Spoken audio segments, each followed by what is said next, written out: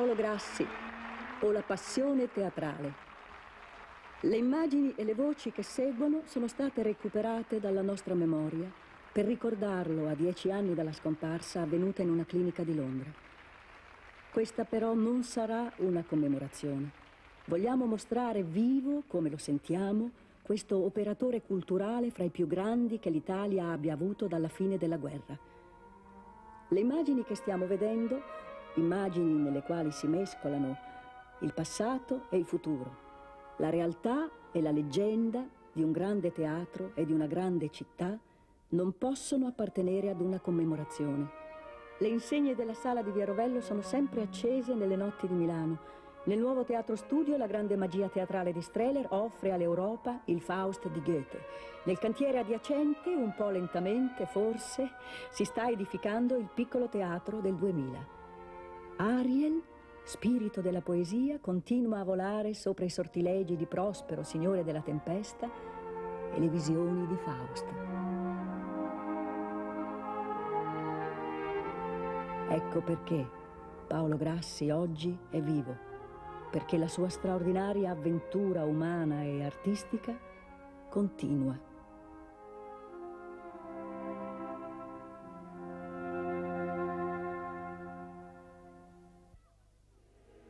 Mio caro Paolo, non avrei mai pensato di scriverti questa lettera ultima che non potrò inviarti più e che batto sulla mia vecchia macchina di sempre, quella sulla quale ti ho scritto migliaia e migliaia di lettere che tu credo hai conservato e che per un misterioso segno mi si è rotta sotto le dita mentre scrivevo pochi attimi fa. È una lettera molto personale la mia. Non è una lettera da stampare. Non è una lettera nemmeno da leggere ad alta voce e credimi mi costa un'immensa fatica farlo. Non è una lettera da televisare. Prego. Soprattutto non è una commemorazione. Non voglio, non so commemorarti perché gli uomini vivi come te non si commemorano. Si ricordano, si amano, si capiscono quando se n'è capaci e basta. Quel giorno di marzo del 1981, con l'addio di Streller, fra le lacrime degli amici e la commozione di Milano, Paolo Grassi entrava tra le figure di rilievo di un secondo risorgimento nato dalla Resistenza. La sua utopia teatrale, riconoscere al popolo in un paese dove la cultura era privilegio di pochi, il diritto di fruire del teatro come di un servizio pubblico, alla stessa stregua del tram, della luce e del gas, era diventata realtà grazie alla sua straordinaria capacità di lavoro. Fino a 14 ore al giorno nel suo bugigattolo al piccolo, nel suo ufficio alla scala, così per anni. Diceva, l'efficienza pura è solo degli idioti. Non credo a un'efficienza che non sia nutrita da una ragione morale. La sua ragione morale che l'aveva guidato finché il cuore aveva retto era il senso di una fraternità virile, un umanesimo ruvido e generoso, un socialismo col cœur in man, come dicono a Milano, fatto di populismo impetuoso e di finezze turatiane. Questa ragione morale, così evidente nel pensiero della gente mentre il corteo funebre sfilava nel perimetro fra il Duomo di Milano, la Galleria, il Piccolo e la Scala, lo aveva costretto ad essere anche un uomo impossibile, che non ammetteva compromessi né da sé né dagli altri. Lo sapeva Streller, anche se nel discorso d'addio aveva sorvolato su certi aspetti dialettici, per non dire tempestosi, del loro sodalizio. La loro amicizia aveva radici nell'estrema lealtà del loro rapporto. Lo sapevano i suoi collaboratori che gli riconoscevano il diritto di esigere da loro il massimo perché prima esigeva il massimo da se stesso. Lo sapevano i milanesi che guardavano passare il corteo con la corona di Pertini, gli attori del piccolo, i cantanti della scala che salutavano il loro sovrintendente di ferro e sapevano che Grassi, il magnifico, era morto povero, come un amministratore pubblico di altri tempi.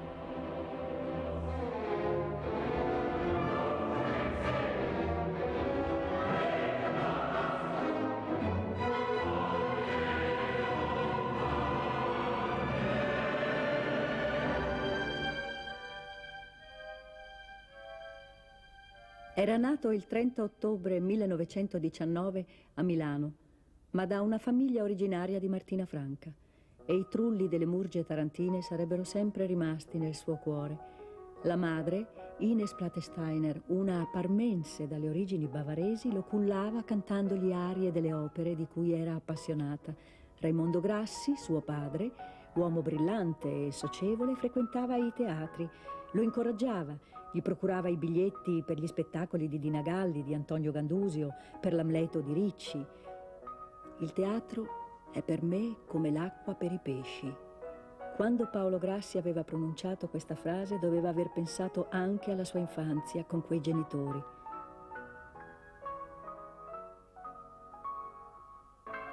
Nel 42, quando aveva vestito senza entusiasmo i panni di allievo ufficiale di fanteria, Grassi aveva già scritto cronache teatrali sul quotidiano Il Sole e organizzato spettacoli per Annibale Ninchi. Ma la realtà era nemica del teatro. L'Italia era in guerra. L'Italia di Mussolini precipitava verso la sconfitta. Le bombe non risparmiavano Milano. Per fortuna resta il teatro da fare con amore e con rabbia, anche fra i bombardamenti, i razionamenti, il coprifuoco. Grassi ha fondato il gruppo Palcoscenico. Nel 1943 ha organizzato a Novara uno spettacolo di fronda in cui Strehler, che poi sarebbe riparato in Svizzera, faceva la sua prima regia con l'uomo dal fiore in bocca di Pirandello. Finita la guerra, gli spiriti erano pronti per ricominciare tutto da capo. A Milano si ricostruiva la scala. Grassi stampava i primi libri della libertà all'insegna della casa editrice Rosa e Ballo, nata nelle notti dell'ira, quelle della resistenza.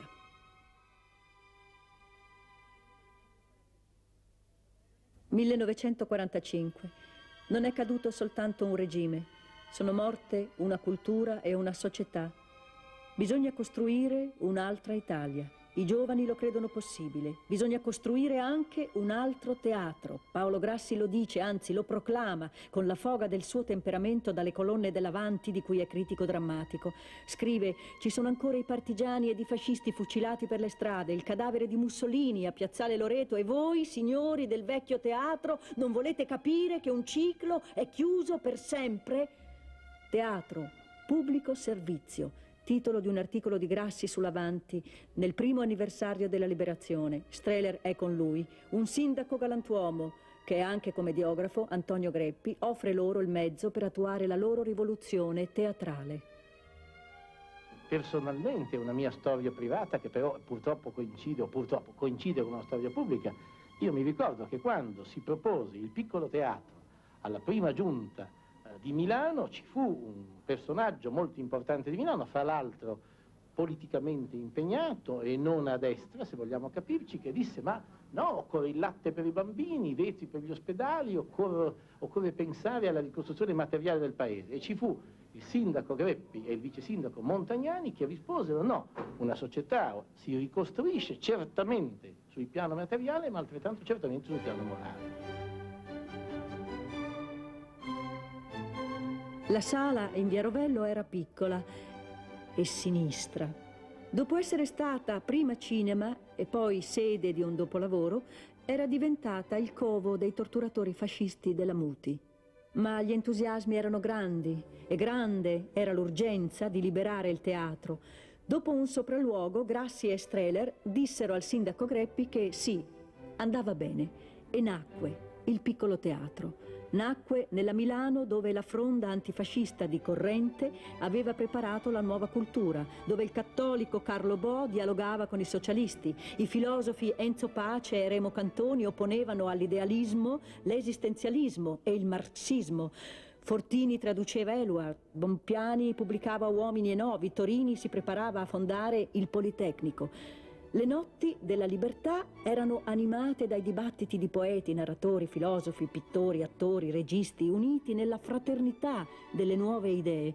Quasimodo, Rebora, Buzzati, Tittarosa, Pandolfi, Puecher, Jacobbi, Aristarco, De Grada, Banfi, Ferrata, Cassinari, Morlotti, i fischiatori di Grassi andavano a demolire gli spettacoli dei mattatori del vecchio teatro.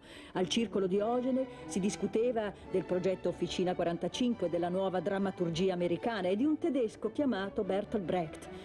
Strehler realizzava le sue prime ispirate regie. Quando nel 47 il piccolo teatro è una realtà, attori illustri si uniscono senza esitazioni alle nuove leve del palcoscenico. Grassi e Strehler sono chiamati i Dioscuri. Non è mai avvenuto che Giorgio Strehler ed io ci si sia seduti intorno a un tavolo e ci si sia detto, come si usa oggi, con documenti, ecco, questa è la spartizione dei nostri compiti.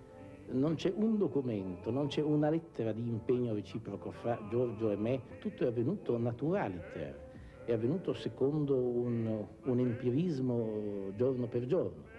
Praticamente eh, scegliendo la strada dell'intellettuale organico, dell'operatore culturale, dell'inventore di di un, teatro stabile, di un teatro di gestione pubblica, io mi sono distaccato volontariamente dal palcoscenico dove ho intuito che Giorgio Strehler aveva delle qualità maggiori, più mature eh, delle mie. Cioè ho cercato di realizzarmi in un settore indispensabile della globalità del teatro, mentre Giorgio si realizzava nell'altro emisfero.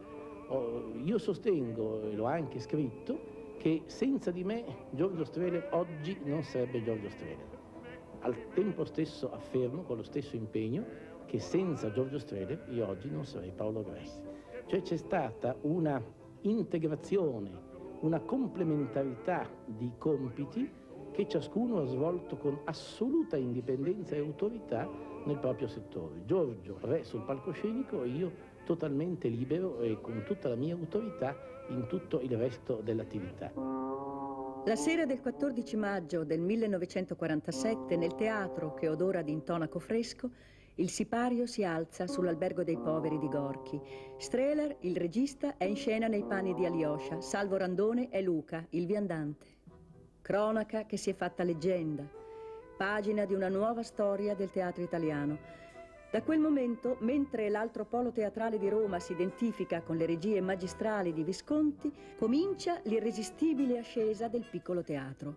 Calderon, Gozzi e Goldoni, il Goldoni dell'immortale Arlecchino, servitore di due padroni con Marcello Moretti, le notti dell'ira di Salacru, gli incompiuti giganti della montagna di Pirandello con Pilotto, Santuccio, Labrignone, i primi testi di Shakespeare tradotti dal futuro premio Nobel Salvatore Quasimodo, fra cui una tempesta recitata nei giardini fiorentini di Boboli, il primo Chekhov, Thornton Wilder, Wedekind, Ibsen, Camus e Bertolazzi, chiave di volta di un discorso sulla drammaturgia popolare al piccolo si recitano anche gli italiani contemporanei, Bontempelli, Betti, Vergani, Zardi. L'incontro con Brecht, fondamentale nella storia dello stabile milanese, avverrà nel 1956 con l'opera da tre soldi, Millie e Carraro nel cast, presente l'autore, e proseguirà con Schweig quattro anni dopo, per culminare con l'allestimento esemplare nel 63 della vita di Galileo, dove si fondevano perfettamente poesia e pensiero, e al quale resta legato il ricordo di Tino Boazzelli, incomparabile interprete.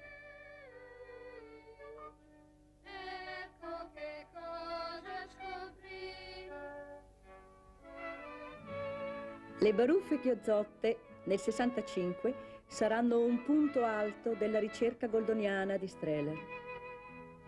I dioscuri di Via Rovello sono assolutamente complementari, necessari l'uno all'altro Accapigliarsi e riconciliarsi fa parte della loro collaborazione.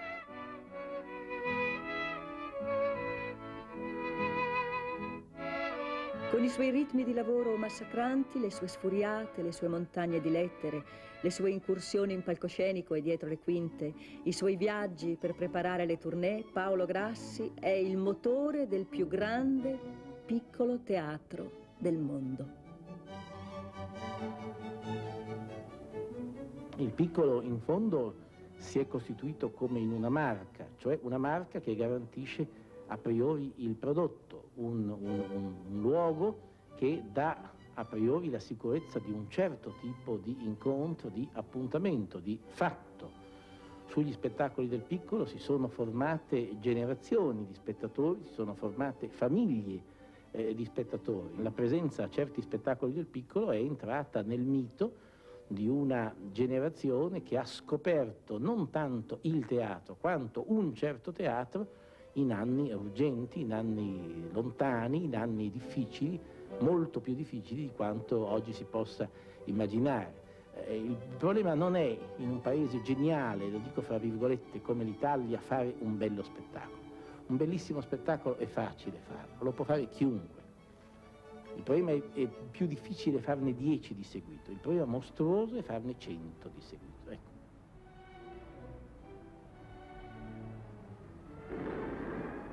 1968. Da Parigi, dove è esplosa in maggio, la rivolta studentesca si estende all'Europa. Esplode anche a Milano. Scuote le istituzioni culturali, occupa la scena del piccolo teatro. L'estate calda del 68 vede la fine della diarchia Grassi-Streller in via Rovello. Streller se ne va, fonda il gruppo Teatro e Azione per sperimentare, dice, nuove metodologie di lavoro nell'indipendenza delle scelte e delle responsabilità. Grassi resta solo al timone del piccolo. Confortato dalla solidarietà di Nina Vinchi, nel clima turbato di quel tempo, con accanimento si batte per preservare il patrimonio artistico del teatro al quale ormai guarda tutta l'Europa.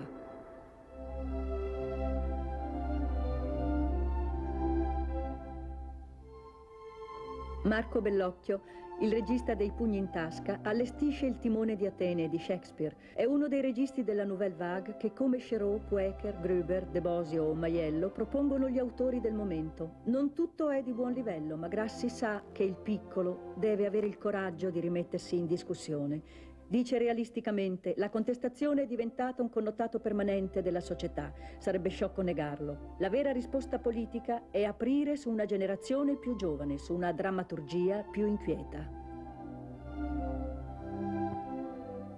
1972. La Scala aspetta Paolo Grassi.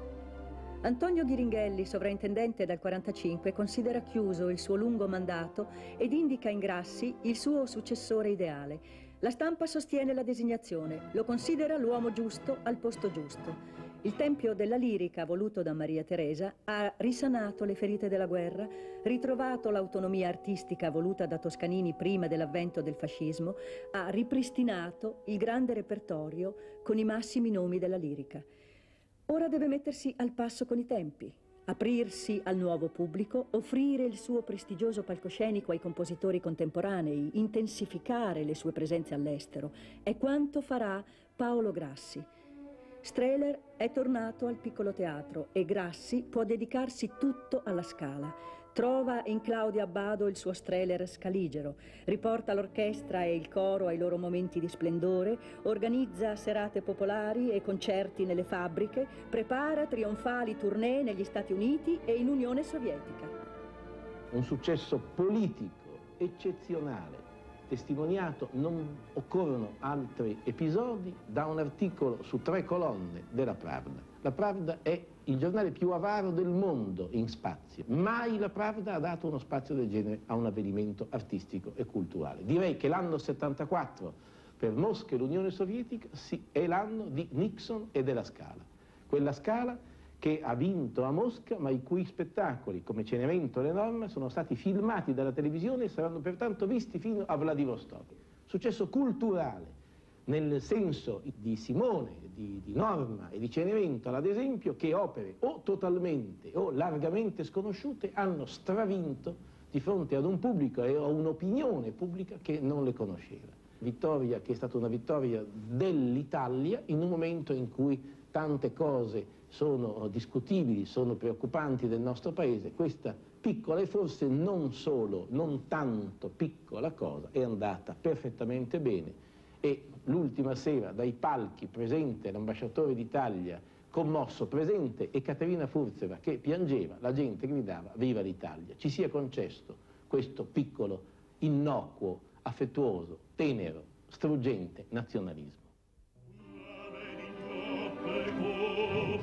Le accoglienze trionfali ottenute dai cantanti e dall'orchestra della Scala a New York, a Washington, a Filadelfia, a Londra e a Mosca rinverdiscono gli allori del teatro lirico italiano nel mondo e la presenza del pubblico popolare non ne abbassa i livelli artistici, tutt'altro, ma non tutti capiscono. Una volta di più è il suo destino, il prezzo da pagare alla coerenza, Grassi, sovrintendente, si trova al centro di polemiche. Da un lato gli elitaristi che lo accusano di avere permesso che i nuovi sanculotti dissacrassero il tempio scaligero, dall'altro i contestatori che lanciano uova marce contro gli spettatori in smoking e in pelliccia delle prime. Agli uni Grassi replica che la musica è di tutti, ai secondi che gli alti prezzi delle prime scaligere sono in fondo una tassa democratica sulla ricchezza. A chi gli chiede come concilia il suo passato al piccolo con il ruolo di patron alla Scala, precisa che il ribellismo fine a se stesso è roba dell'Ottocento, che fare la rivoluzione culturale non significa ripudiare lo smoking per i blue jeans, che all'interno delle istituzioni egli non si sente un ribelle per partito preso, ma l'esecutore responsabile e disciplinato di un mandato ricevuto. Alla Scala dà spazio ai grandi registi, ai grandi scenografi, ai grandi interpreti. Restano memorabili gli allestimenti del Simon Boccanegra, del Macbeth e delle novità dei compositori contemporanei come Luigi Nono, di cui si mette in scena, in un clima di salutare polemica, al gran sole carico d'amore. L'Otello viene trasmesso in diretta dalla radiotelevisione. La Scala diventa così la più grande platea del mondo. Tutto questo ha un prezzo. Il cuore di Paolo Grassi è stanco ma egli non ha tempo di ascoltare i medici. Proprio perché era l'uomo giusto al posto giusto, non si lascia impressionare né dai capricci degli artisti né dalle esagerazioni corporative del sindacalismo d'azienda. Quando si arriva all'assurdo di una Tosca andata in scena senza costumi e scenografie per uno sciopero selvaggio, denuncia pubblicamente l'abuso e il silenzio delle forze politiche. È il 9 aprile del 76, con una lettera ferma e dignitosa al sindaco Aniasi, annuncia le sue dimissioni, ma intanto, grazie a lui, la Scala ha ritrovato una seconda giovinezza. Mi sembra sbagliato, esagerato, strumentale tutto il discorso sulla cosiddetta contestazione. La contestazione è un fatto negativo, noi dobbiamo trovare dei motivi positivi. Il fatto positivo è un capolavoro di Verdi con un direttore, una compagnia e una regia che credo e spero vivissimamente meritino il consenso del grande pubblico della Scala. Il fatto artistico si congiunge a un avvenimento sociale straordinario, cioè da questo momento tutta l'Italia, dalla Sicilia alla Val d'Aosta, è in condizione di seguire negli, nelle pause e dal palcoscenico il nostro lavoro. Di fronte a questo fatto infinitamente positivo che ci sia la contestazione è un fatto secondario, perché proprio sul piano sociale è un, un avvenimento enorme, oltre che io spero anche sul piano artistico. Nel 76 Grassi era già stato invitato ad assumere in RAI la vice direzione generale per la radiofonia, ma un affettuoso plebiscito dei milanesi l'aveva convinto a restare alla Scala.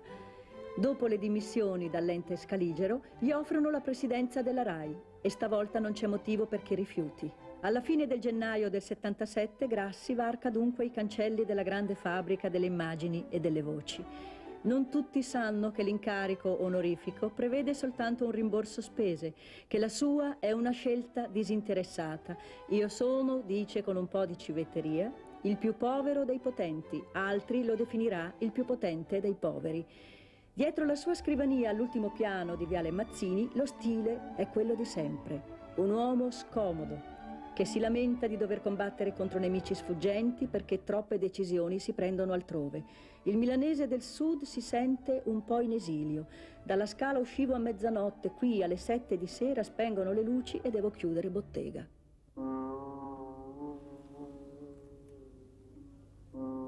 Questo è Paolo Grassi, socialista e democratico. Dice, socialista mi sono scoperto.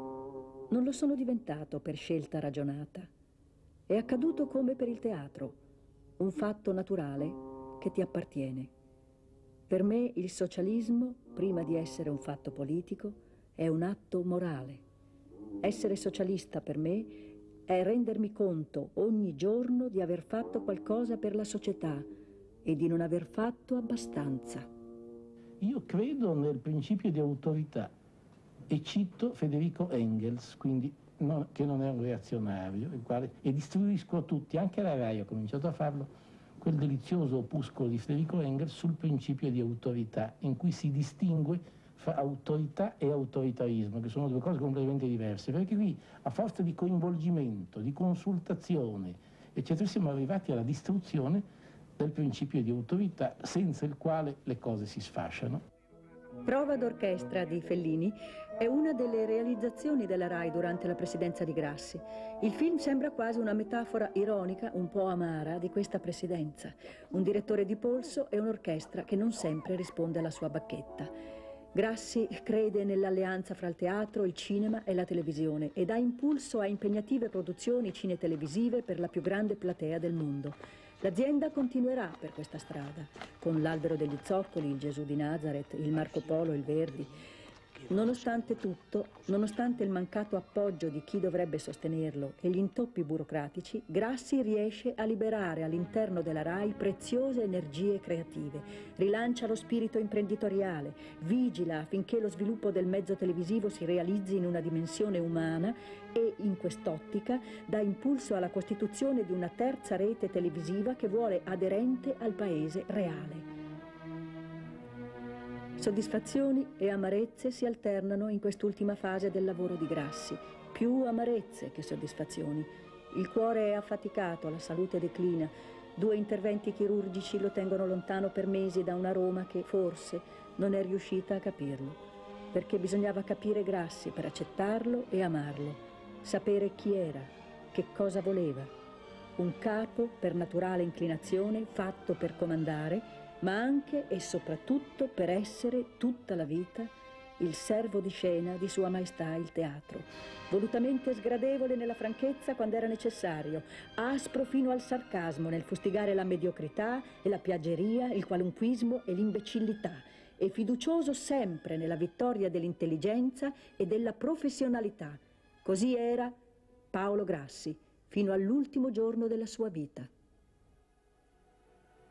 Paolo Grassi, fondatore del Piccolo Teatro di Milano, già sovrintendente alla Scala e già presidente della radiotelevisione italiana, è morto questa notte in una clinica di Londra.